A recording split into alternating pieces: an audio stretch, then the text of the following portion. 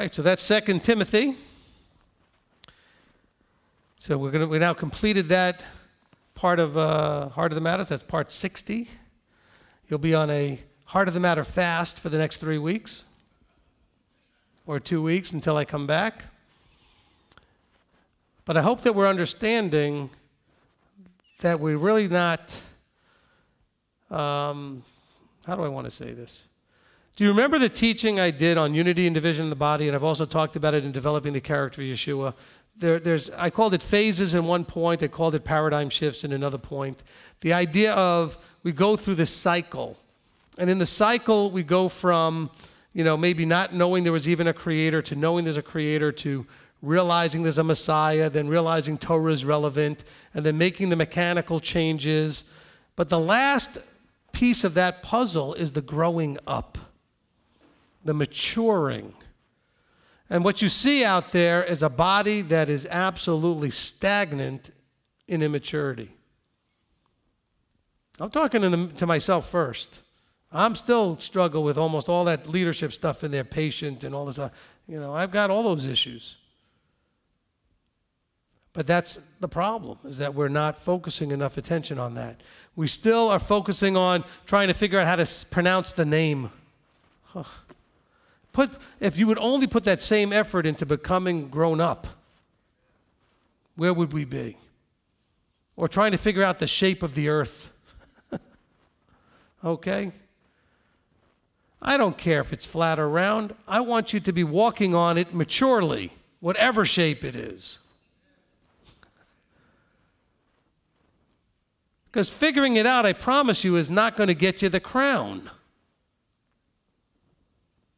Now, if it's important to you to figure it out, good. Figure it out, get it done with, and move on. But let's grow up.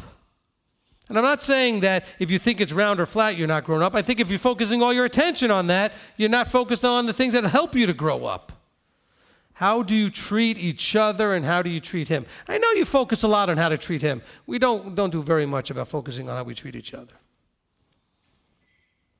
Very few of us can go up to very few of us and genuinely say, I love you, to a brother, to a sister.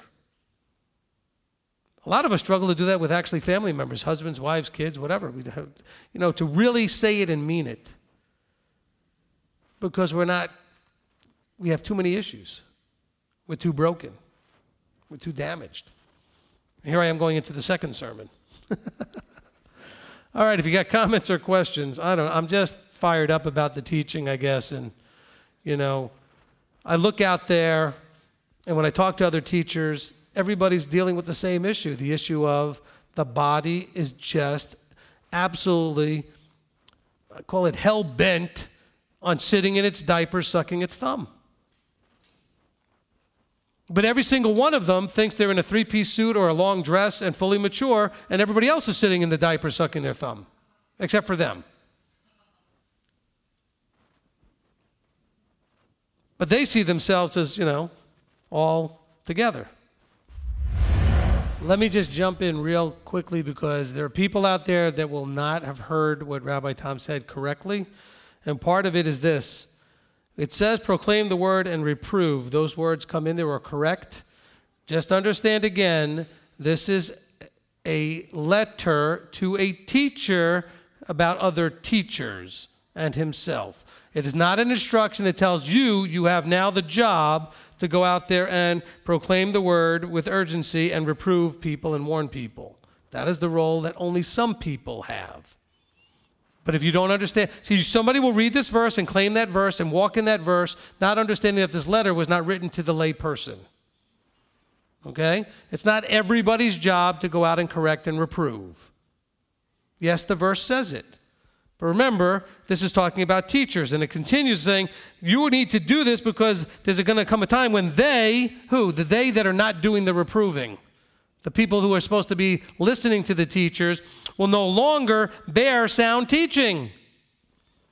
So just let's remember that chapter 4 is still part of the same letter to a teacher about going out and training other teachers. Is it making sense? Are we fair with that? Because others will take this and think it's their job now to go out there and reprove and correct and warn everybody. That's not your job. Work on your job. You know what your job is? To learn how to become Yeshua like. Grow up. I'm not saying that in a condescending way. I'm talking to myself. We need to grow up. You know, I wrote a little note to myself many, many months ago, and I found it going through some papers the other day, and it said, When you are offended, it simply means that you are not yet mature enough to handle what just happened. Think about that for a minute. If you are offended, it means that you are not yet mature enough to handle what just happened. See, most of us are not there yet. See, because nothing should offend you. But we're offended because we're not mature enough to handle correctly what happens. And it's that offense that gets us to be all vicious and angry and lash out and fight and all this stuff. because we get offended. Get, we get offended by what others believe, what they do, what they say, how they look. It doesn't matter, but we get offended. We take it, in other words, by offended, I mean you take it as a personal offense. Like it was done to you. And so maybe that's something we need. I think we need to start making these things that we can have people print out on their computer and make these little things with a nice, pretty background that says, you know, if you are offended, it simply means that you are not yet mature enough to handle what just happened. Is that fair? Okay? I think that fits right into this. And it just so happens that, you know how you have piles of papers? At least I don't know, maybe you don't. I do. I got piles of papers everywhere. And I'm trying to clean through them and put them away, and I found that little piece of paper. I scribbled on it because the Ruach will give me these things every now and then. At night, I'll scribble it down on a paper. I'm, I'm, I'm flying on a plane. I just might write something down wherever I am. And it, something happened, and it, it, just, it just hit me. When you act offended, when you take that offense, it's because you're not mature enough yet to handle what happened. Because if you were mature enough, you wouldn't be offended you just handle it. Because it might be a right way to handle it, but instead you're offended. And because you're offended, you handle it completely differently. What would you say to the idea that Father is actually in a season of winnowing right now? That he's in a season where those who want to be righteous are growing in righteousness, and those who refuse the yoke of Messiah through his anointed appointeds are getting worse and worse. You know, we, we try very hard not to step in the role of trying to understand why people do what they do and uh, label it in any way. You know, there's been, um, there was a season, and I think that's, it's, it's kind of matches the agricultural model is that, you know, we had a season of growth, then we had a season of, of a lot of fruit, and then a lot of the, some of the fruit you know, fell off the tree, so to speak. And, um, you know, now we've had very little turnover in a very long time. I mean, really, the congregation has not changed very much, probably in over two years. Although there was a lot of turnover in the first two years. And the same thing with the MTOI structure and leadership. We've had the same uh, guys in the leadership, uh, except for a few that are new, but we haven't had hardly anybody leave in several years. And so there is a solidifying, a commitment, a dedication, which is why we've been talking about that quite a bit.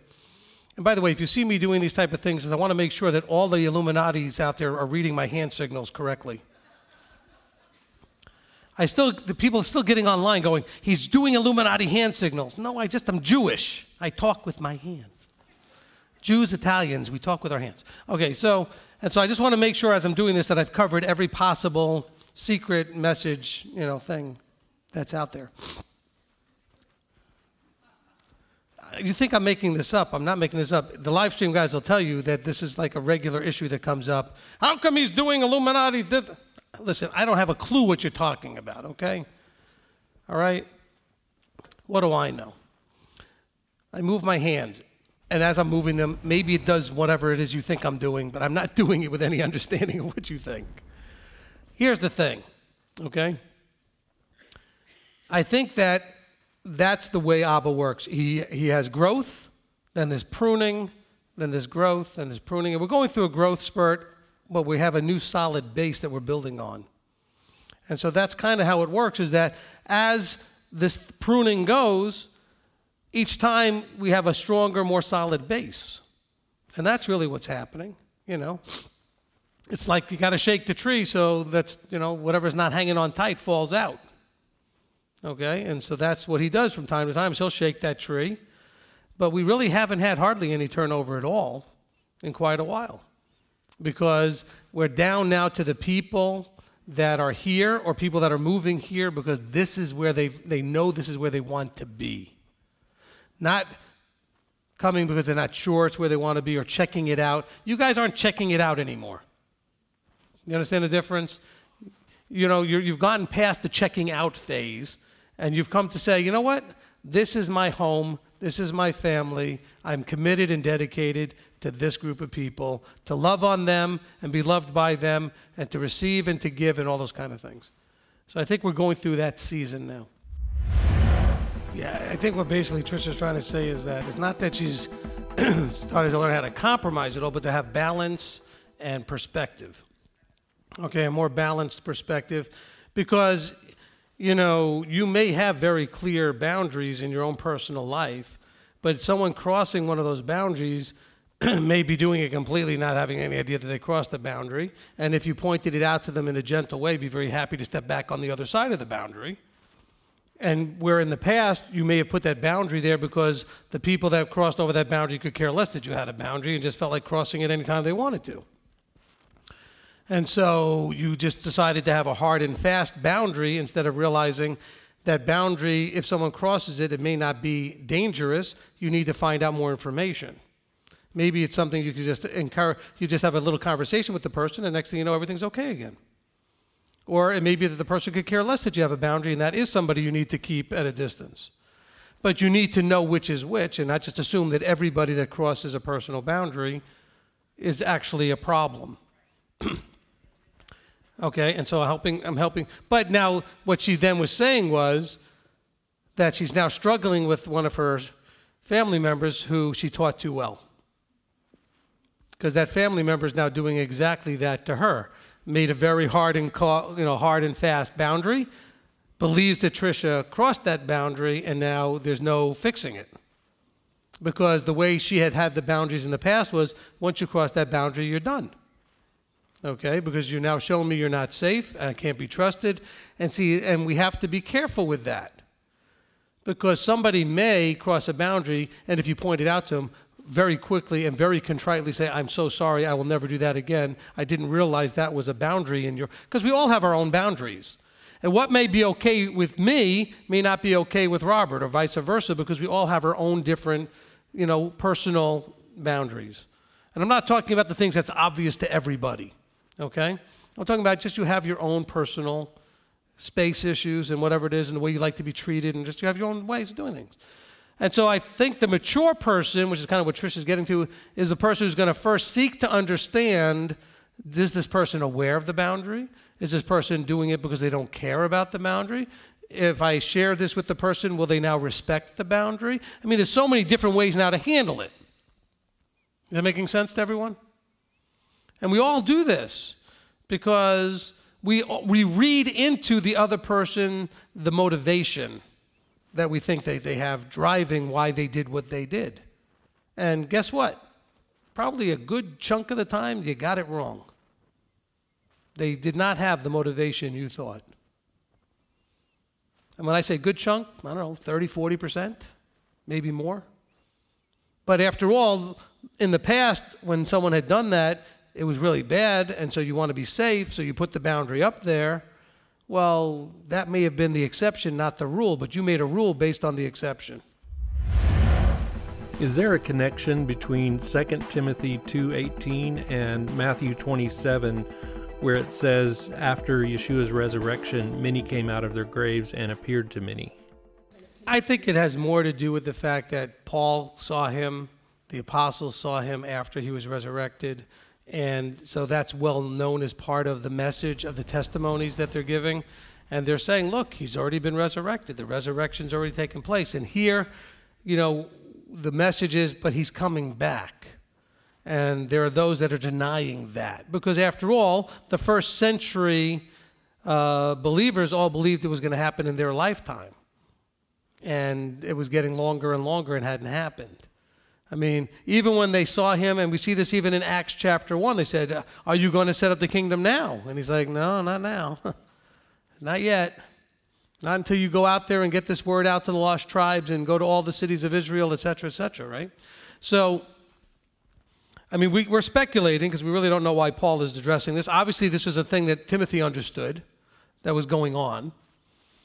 But the bigger part of the message, you know, was just the idea that this is a teacher Shaul, teaching a student who's also a teacher about going out and training more students to be teachers and having them understand the correct heart and approach and behavior as a teacher. I've told all my kids, my kids, my goal is they're better than I am. My goal is that I have to end up learning from them later.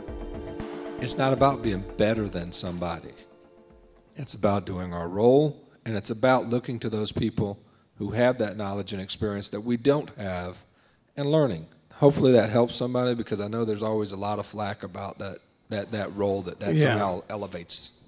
You know, it's definitely not about elevating, but you know what, what we're trying to talk about also is that, you know, Robert has told me many times about opportunities where, you know, he worked in juvenile probation and sometimes, uh, you know, one of the juveniles will do something and he will say to them, If you do that again, you're going right back to the prison and we're taking you right to the judge. And the child will then look at him and say, Well, you can't do that. He says, No, actually, I can. In other words, understanding that positions do have limited specific authority. Let's call it that. All right?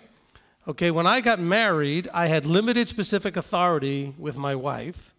And then we had children, and now I have limited specific authority with my children. Okay? You see what I'm saying? And if you have a job, say you're a supervisor or a manager in a business, you have limited specific authority in that place. And so here, Timothy is being taught about this idea of being a teacher, but understand that that teacher has limited specific authority in a role, where outside of that role, there isn't any authority because you're outside of that role.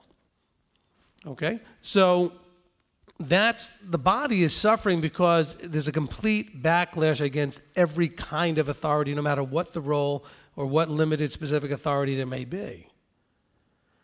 Because it's so easy to just say, well, I just follow Yeshua, because that basically, since he's not here standing right in front of you, means that you get to decide whatever you want to get to decide that it comes out of Yeshua. You know? You know, there was a line we were watching last night, as we often do. We watch, you know, some of the Bible movies and stuff. We were watching what I what I've dubbed the Angry Moses. it's one of the many versions of the Moses movie, but this is one where he clearly has an anger problem and and and knows it. And there's one line where he's talking to Pharaoh, you know, and uh, you know he says to Pharaoh something, and Pharaoh says says uh, something back to him, and he goes, he goes. Um, he says, Well, no. He says, uh, I'm not the one that did that. God did that. He says, But God speaks through me. In other words, understand this is my limited, specific authority here with you, Pharaoh. Okay? And so that is the kind of message I thought, how, how, how powerful that is for him to be able to look the man in the eye and says, Yes, you know, this isn't me. I'm not the one doing this. God's doing it, but He happens to be speaking through me. And I, am sure that many of the prophets wish they could have been stronger in being able to say that to people and actually have people believe them because we killed all the prophets because we didn't want to believe them. Well, not all of them, but most of them. Okay? A few of them escaped without getting killed. But the idea being they were not accepted readily as, but he speaks through me. We all have to be looking for those people that have that limited, specific authority to teach, to lead, to whatever it is that, that, that Abba's given them to do, because he's speaking through them on that limited, targeted level. Does that make any sense? So I'm not claiming that a teacher is like a prophet or some other thing, but he's been given a gifting and a talent, just like the limited, targeted, specific talents that you see in the people that are singing and playing instruments. Or cooking and providing tremendously delicious food, or doing the, the designing of the electronics that we all benefit from, like this microphone and the cameras. I mean, we have people that are terrific at different things, and then they are able to then teach and train others to do what they do who also have talent. Does that make any sense? But we don't just allow anybody that thinks they know how to put a computer together to just go ahead and put a computer together. It has to work. It has to, you know what I'm saying? You have to show and demonstrate you have the gifts and the talents. And so we should want that. I mean, you don't want anybody doing, when you walk into a medical office, do you want somebody that has a, uh, you know, a law degree, or do you want a, someone who has a doctor's degree? Now, by the way, you're walking into a pediatrician's office. Now, do you want someone who's an orthopedic surgeon, or do you want someone actually who's specialized in pediatrics? Do you understand I'm trying to show you? So if you're looking for understanding this book, you might want to find someone who's been given a limited, targeted, specific training, authority, gifting to teach you about what's in this book. Now, just hopefully that makes some sense. But just realize the more we're trying to get that out there, the more the backlash, not just against me, but against it in general.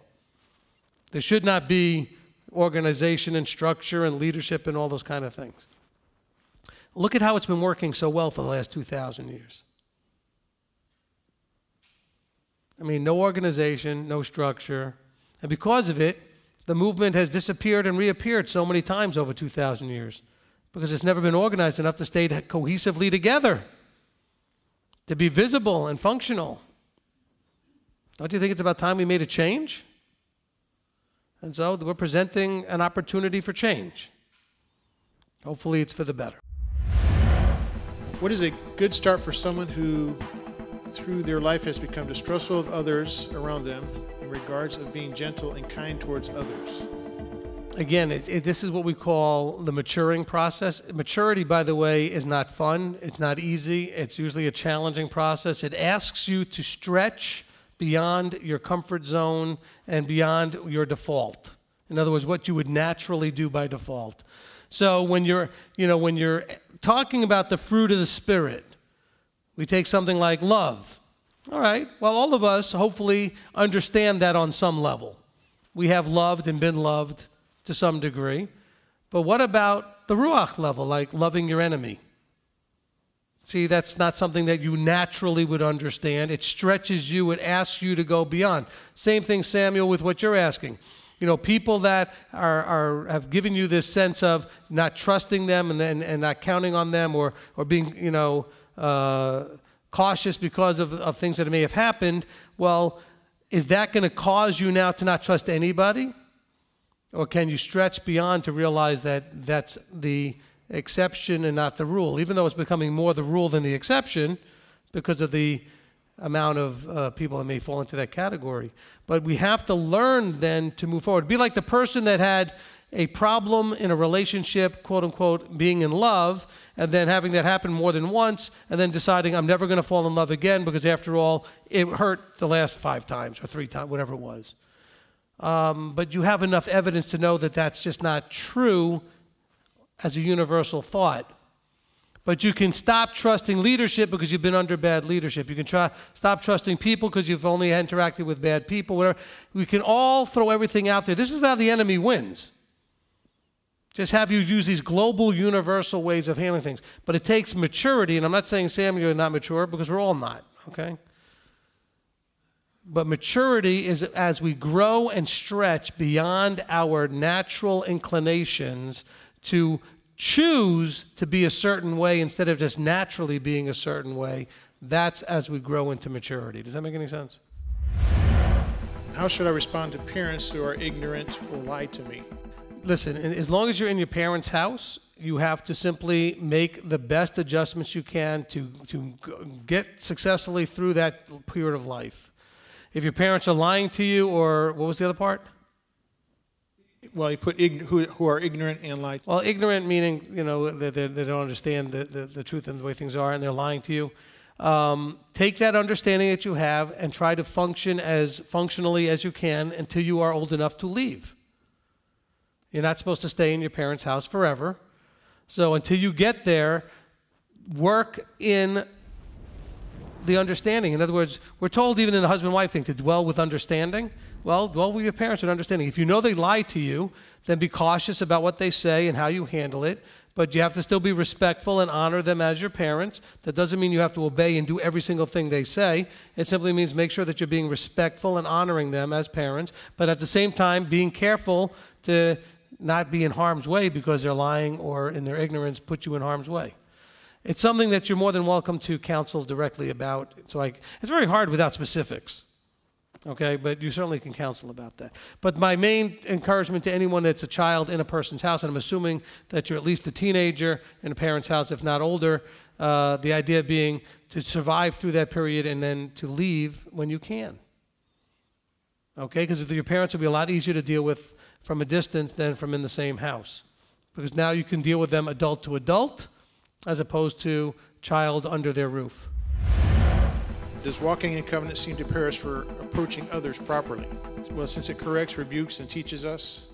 Um, if you're walking in covenant, Abba is going to correct you. It says that he corrects those he loves. So he will correct you, and he will do that through others, or he'll do it through you know, himself, putting you through circumstances where you realize whatever I'm doing isn't working, so there must be something I'm doing that's not right.